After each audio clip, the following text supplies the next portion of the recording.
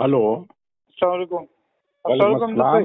जी खैरियत से साहब जी खैरियत अल्लाह फजल अंजू साहब असल में बोलना ये चाह रहे थे 466 नंबर का अभी स्टेटस देखे आप रखे हुए वीडियो हाँ 466 नंबर की बिल्डिंग के हाजिया बे इंतहा परेशान है हाँ कल मगरिब से लेके नहीं अभी गाड़ी आ गई अभी अभी सुनिए अभी जो मैं स्टेटस रखा और जो मैं ट्वीट कर रहा ना जी मेरे को अभी ट्वीट पे दिन में मालूम हुआ मैं ट्वीट किया मेरे को सन, इंडियन एम्बेसी और हज कमेटी वाले अभी कॉल किए।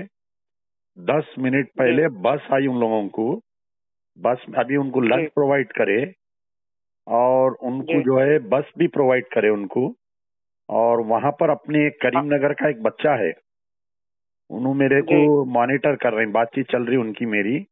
मैं उनका नंबर डालता। हूँ आपको जो करीमनगर वाले साहब है ना? ठीक है। तो आप उनसे बात करिए। वो बस जो आई थी एक बस आई और वो बस के अंदर में लोगों को जो भर के भेजे उसमें इतला है आपको कि एक साहब का इंतकाल भी हो गया? एक एक जयीफ इंसान का भी इंतकाल हुआ ना उसमें? जी जी जी जी। वो तो कैसा बस- भर दिया मतलब वो जो बस आई थी वो एक बस? उसके अंदर में इंतकाल नहीं हुआ उनका बाहर इंतकाल हुआ शायद मैं समझता हूँ।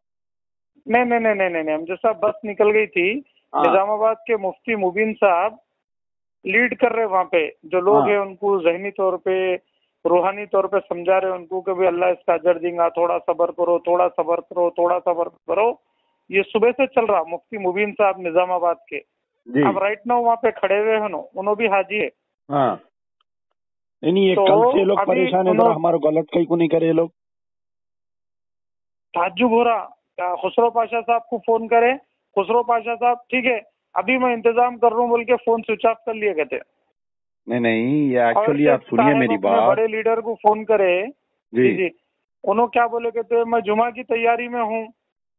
बल्कि उन्होंने चार घंटे से रिप्लाई नहीं है उनका। नहीं नहीं मेरे को कोई न्यूयॉर्क से फ़ोन करे। जी जी। न्यूयॉर्क से कोई एक लड़का फ़ोन करके उनके कोई वालदेन है उसमें आप जरा बोल के वो वीडियोस भेजे। तो मैं इमीडिएट। वो प्राइम मिनिस्टर को और doctor Jay Jaishankar minister for external affair को और आपके किरण रिजिजू जो नए मिनिस्टर बने ना उनको मैं ट्वीट किया। मैं आपके उस पे स्टेटस पे देखा मैं नहीं नहीं मेरा ट्विटर चेक करो वो लोग जवाब भी दिए देखिए मेरे ट्विटर पे जी जी मैं ट्वीट करे जब तक भी इंडियन एम्बेसी और वो जो सेंट्रल हज कमेटी और वो जो सऊदी की हज कमेटी वालों को नहीं तला थी इसकी मैं अच्छा। ट्वीट करने के बाद में अब मेरा ट्वीट देख के अपने करीमनगर का एक लड़का है वो बिल्कुल खरीदता वो बिल्डिंग के। अच्छा। मैं वहाँ पर जाके वहाँ के लोकल जो भी इंचार्ज है उनको कॉल करके बुलाया। बुलाने के बाद में ये ये बस आई। बस आके एक बस निकली दूसरे बस के इंतज़ार में थे ये लोग। अभी ये- तक वो इंतज़ार में है? अभी आ रही दूसरी बस भी आ रही। करता हूँ ये ये ये आपका नंबर जो है ना मुफ्ती मुबीन साहब तक मैं शेयर कर देता हूँ। नहीं आप मुफ्ती साहब का नंबर डालो मैं भी बात कर रहा हूँ। आप मुफ्ती साहब का नंबर मेरे को व्हाट्सअप करिए।